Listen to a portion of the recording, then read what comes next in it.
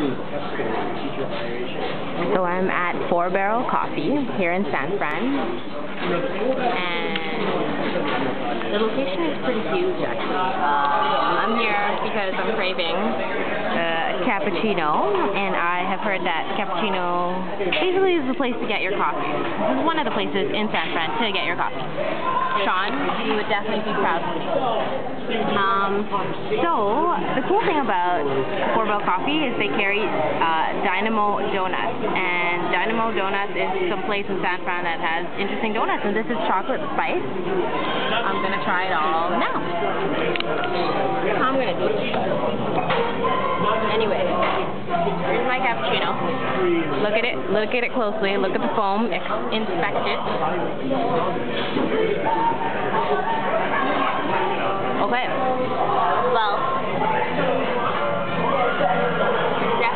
Better than um, four bottle coffee, whatever I tried yesterday.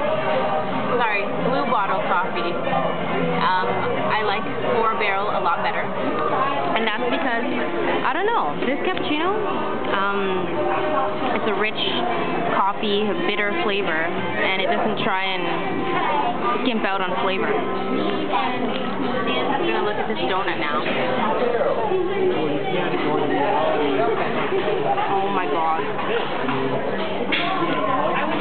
Holy crap. This donut is intense. It really is what it says. It is a bit spicy. Um, but it tastes like cake inside. Chocolate cake. Worst but best breakfast ever. Oh man. Enjoy this shit right now.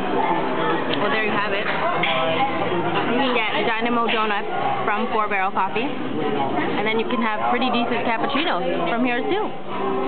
So, we're in San Fran.